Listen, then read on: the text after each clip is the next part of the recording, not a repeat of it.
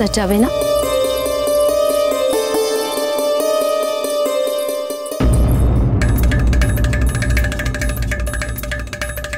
अरे, ये क्या?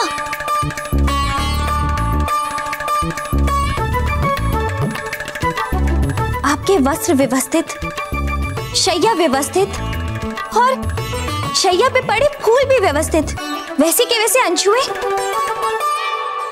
ओ जीजा आपने ये संजोग भी गवा दिया। आपने तो हमारा मन ही खराब कर दिया। ये लो, हमारे टोंग के प्रसिद्ध पेड़े, वो भी व्यर्थ गए। हे भगवान, कुछ करो हमारी जीजा का, थोड़ी सी सद्बुद्धि दो। हम चलते हैं।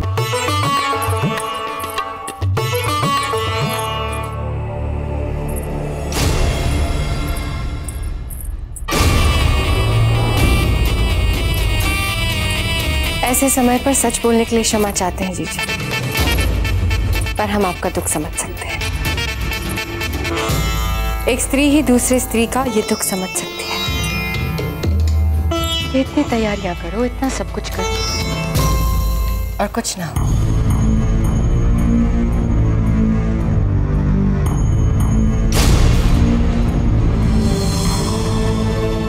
राणा जी ने पान का बीड़ा नहीं खाया। फिर भी राणा जी सो गए। यही सोच रही है ना धीरबाई जी।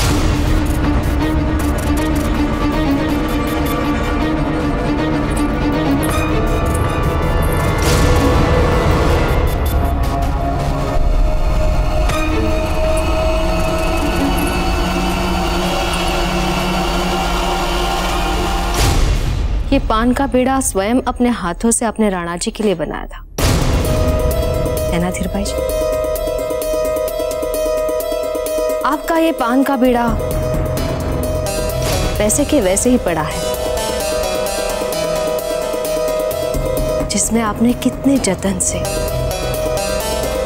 नींद आने वाली औषधि मिलाई थी।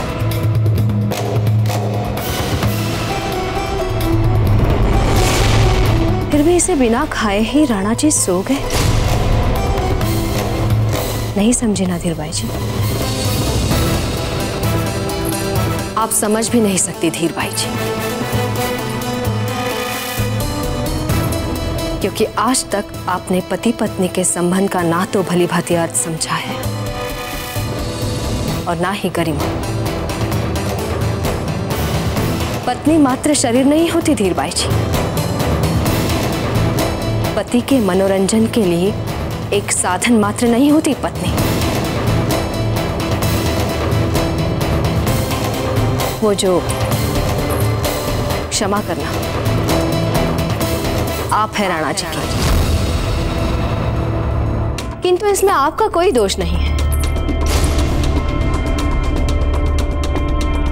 आप छोटी है। आपकी बुद्धि छोटी। इसलिए इस संबंध के लिए आपकी सोच भी छोटी। अब कभी कभी छोटी सोच ईर्षावश खोटी सोच बन जाती है। इसलिए किया था ना आपने ये षड्यंत्र। ताकि राणा जी को शीघ्र ही नींद आ जाए। किंतु क्या आप जानती है धीरबाई जी? कल रात हमारे बीच इतना गहरा संबंध बना कि हम दोनों के आत्मा और दिल तृप्त हो गए। राणा जी को जो सुख, जो शांति, जो तृप्ति हमारे साथ मिलती है, वो और कहीं नहीं मिलती। अच्छा लगता है उन्हें हमारे साथ समय बिताना। उनके सिर्फ़ शरीर को ही नहीं, दिल और आत्मा को भी शांति और सुकून मिला है। ये अनुभूति राणा जी को आप कभी नहीं दे पाएँगे धीर भाई जी। कुंवर प्रताप को अपने मार्ग से हटाने के लिए आपने जितने षड्यंत्र किए उन सभी को हमने देखा समझा है धीर भाई जी। चाहे वो उन्हें शमस्खान की छावनी में कच्चे आम लाने के लिए भेजकर किया हो छावनी में घुसपैठ? या चाहे उन्हें विष पिलाने का प्रयास किया हो। अब आप ये कुंवर प्रताप को पिला दीजिए। ये विषाक्त या चाहे उन्हें गुरुकुल में असफल और अपमानित करने के आपके प्रयास रहे हो। कुंवर प्रताप जल्दी आइए।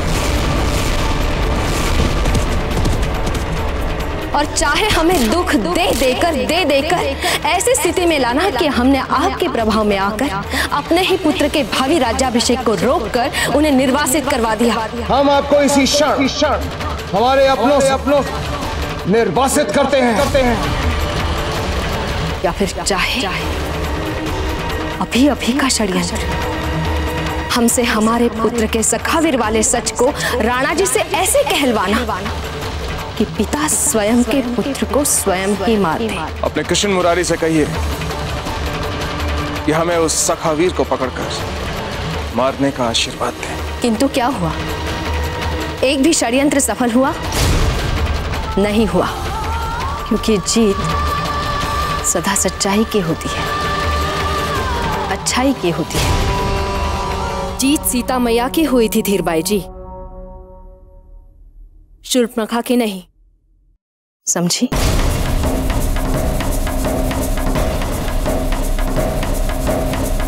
अब खड़ी खड़ी हमारा मुँह क्या देख रही हैं आप? जाइए यहाँ से।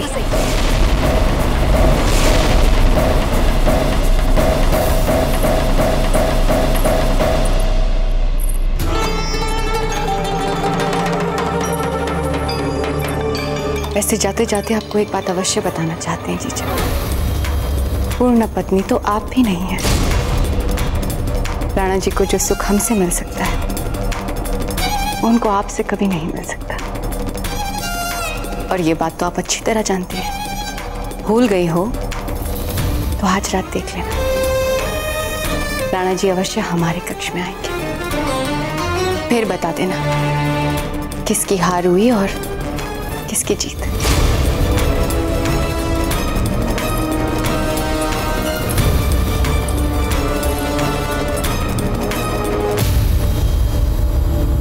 किंतु आप वृंदावन क्यों जाना चाहती? यहाँ हमारे साथ इस महल में रहिए। ढाई माँ, आपको बूंदी की प्रजा की चिंता करने की कोई आवश्यकता नहीं।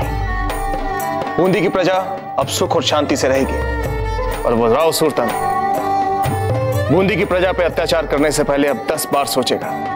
हाँ बना दे। हम आपसे विनती करते हैं।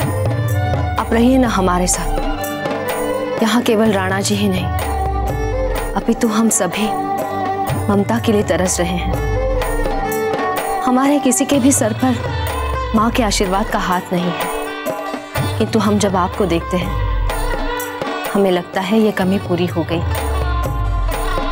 मेवाड़ के राज परिवार को आपके मार्गदर्शन और आशीर्वाद की बहुत आवश्यकता है। भले हम कहीं रहे, लेकिन हमारा आशीर्वाद सदा बाबूजीराज और उनके पूरे परिवार के साथ रहेगा। किंतु सच बात तो यह है, जयवंता बाई साहब ये महल हमें अपराध नहीं आते। ये हमें हमारे बीते हुए दिनों की ऐसी ऐसी बातें याद दिलाते हैं जिन्हें हम भूलना चाहते हैं।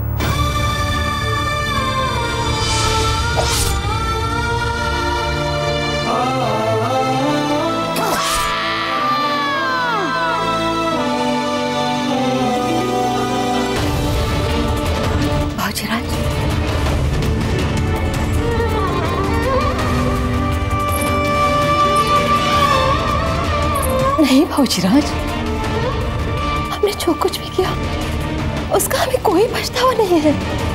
किंतु आप अपने आप को उस बात के लिए उत्तरदायी मत मानिएगा। समझा? कुंवर प्रताप को देख लीजिए। वो किन विपरीत परिस्थितियों में अपने शौर्य की कीर्ति अर्जित कर रहे हैं? और यदि ऐसी वंश परंपरा को बचाने के लिए हमें अपने पुत्र का फिर से बलिदान करना पड़ेगा। तो हम हँसते हँसते करेंगे। हाँ बाबूजीराज फिर से हम हँसते हँसते बलिदान करेंगे। अरे, क्या हुआ? जो हमने अपना एक बेटा खो दिया। किंतु न जाने ऐसे कितनी माओं के बेटों को हमने बचा लिया।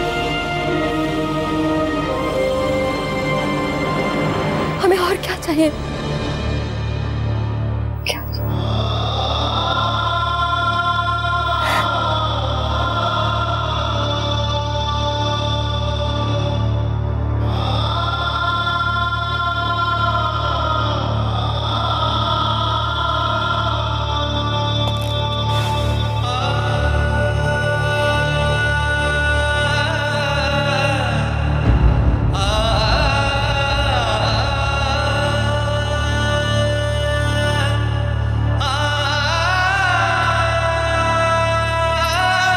किंतु बाबूजीराज फिर से अभी इन महलों में रहना नहीं हो पाएगा हमसे बाबूजीराज इसलिए हमने सोचा है, कृष्णा को उसके नानी के यहाँ छोड़कर हम अपना जीवन प्रभु के सेवा में अर्पित करना चाहते हैं। और इसके लिए वृंदावन से अच्छा स्थान और कौन सा हो सकता है?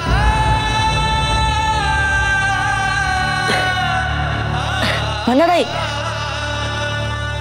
वैसे कृष्णा कहाँ है? भावजीराज वो आपके सामने आने से डर रही है। इसलिए दूसरे कक्ष में पन्ना दाई की प्रतीक्षा कर रही है। क्या? हमारे सामने आने से डर रही है? बड़ी मूर्ख लड़की है। कुंवर प्रताप आप मिलाइए उससे। हम अभी आए।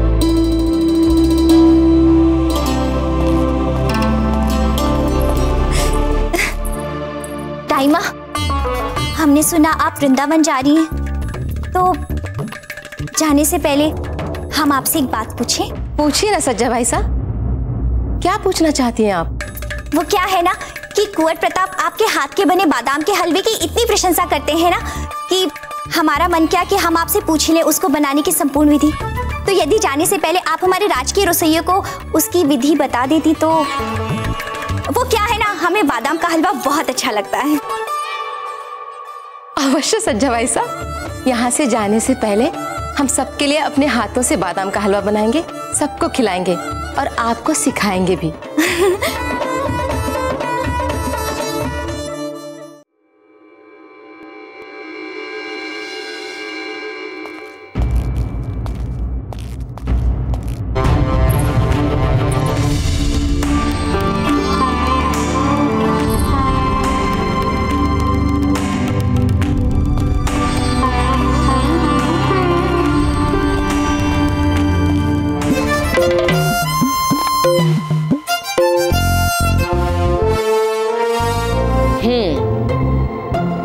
सेवक प्रताप। यही कहती थी ना तुम हमसे? हमें क्षमा कर दीजिए भाऊजीराज हमसे भूल हो गई। हमें जान लेना चाहिए था कि आप आप हैं। बैठती क्यों नहीं हो तुम? बैठ जाओ। बूंदी में तो बहुत अकड़ अकड़ कर बात करती थी तुम हमसे। और यहाँ हमारी बात भी नहीं सुन रहे हो। कृष्णा आपका सम्मान प्राप्त करने के लिए एक राजकुमार को क्या करना होगा? बोलिए।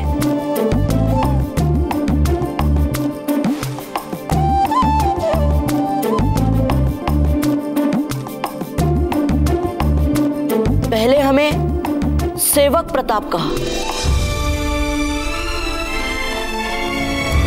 जाओ जाकर अपना काम करो।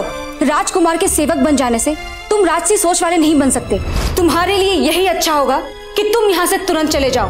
ये ये कायर है? कायर। कायर, कायर। फिर हमें कायर भी कह दिया।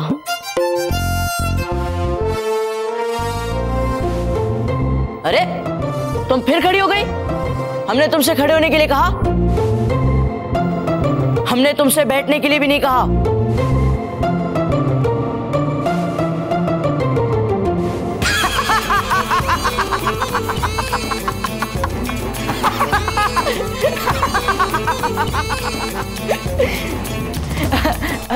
अरे कृष्णा, जिस क्षण तुमने हमें सखा कह दिया था, उसी क्षण हमने तुम्हें अपनी प्यारी बहन मान लिया था।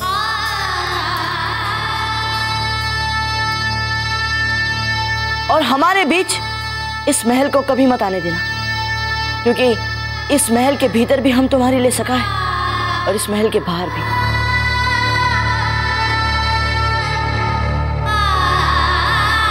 कृष्णा वैसे तुम हमारे साथ यहाँ हमारे महल में क्यों नहीं रहती? हम तुम्हारा ध्यान रखेंगे तुम्हारी रक्षा करेंगे जब तक कि तुम्हें अपने ससुराल ना पहुँचा दे।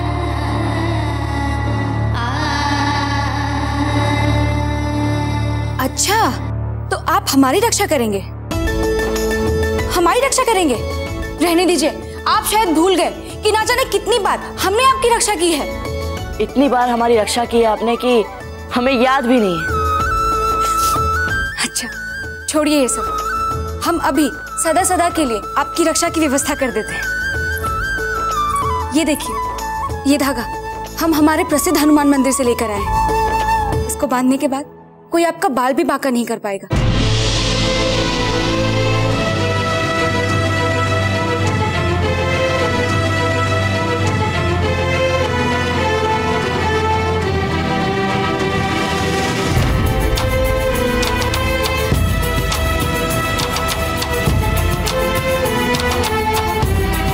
कृष्णा इस बहुमूल्य उपहार के बदले हम आपको क्या दे सकते हैं?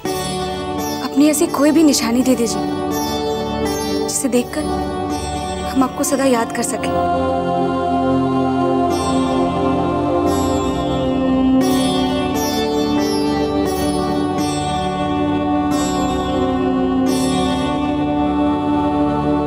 लीजिए। परंतु ये बहुमूल्य हार तो आपके लिए बहुत विशिष्ट है ना? आप भी तो हमारे लिए बहुत विशिष्ट हो, कृष्णा।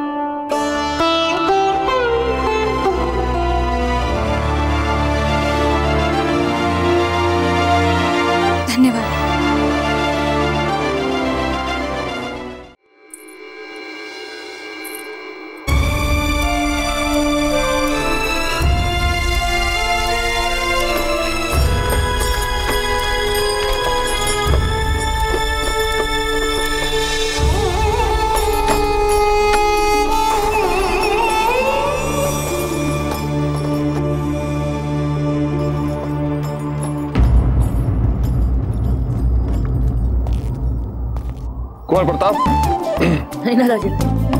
अरे अब तो हमने बात भी नहीं किया कुंवर प्रताप हम आपसे बात करना चाहते हैं आप फंसे जा रहे हैं। या आपकी रानी माँ भी आपसे बात करना चाहती है लो।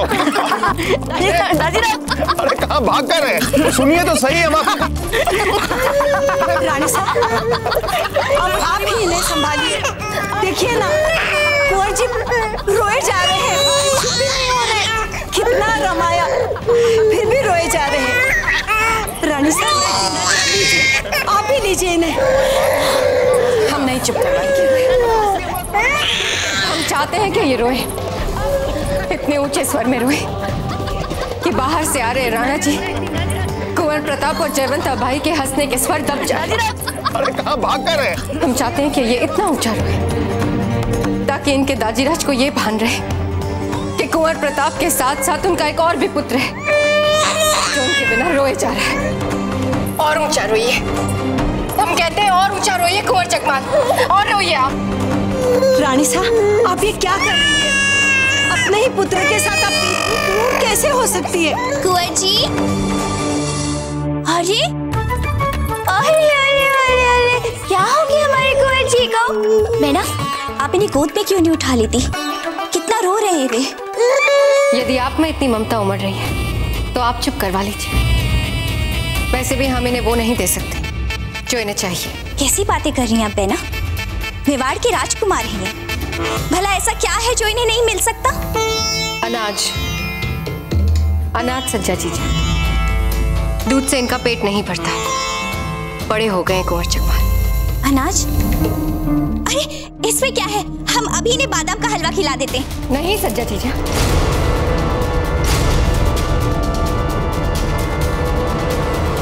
ऐसा आनंद भूल कर भी मत करना। हमने ऐसा क्या कर दिया? कुंवर जगमाल का अन्नप्राशन नहीं हुआ है। बात संस्कारों और परंपराओं की है। जब तक कुंवर जगमाल का अन्नप्राशन समारोह नहीं हो जाता हम उन्हें अन्न कैसे दे सकते हैं?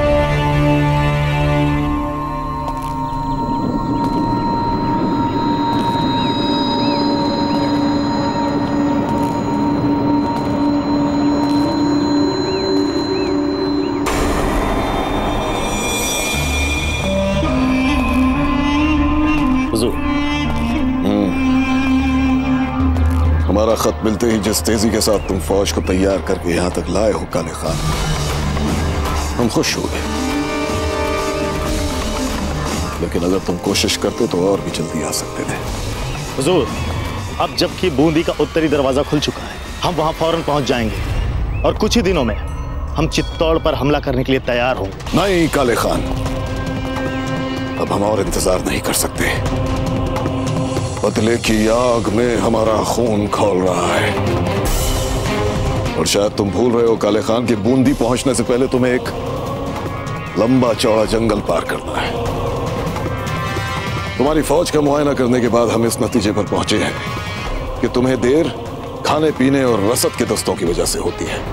लेकिन हुजूर इतनी बड़ी फौज का खाने पीने का ख्याल तो रखना ही पड़ेगा। इसको कैसे टाला जा सकता है? हम जानते हैं इसके लिए क्या करना चाहिए। रास्ते में जो भी गाँव आए उनकी रसद लूट कर फौज के खाने पीने के इंतज़ाम करें लेकिन हुजूर अगर गाँव वाले ना पर अड़ गए तो? ऐसे गाँव वालों को काट डालो। डालो जी हुजूर। कोई भी बाशिंदा ज़िंदा नहीं बचना चाहिए समझ गए? जी हुजूर। प्रताप तुझे अब बैरम खान से कोई नहीं बचा सकता।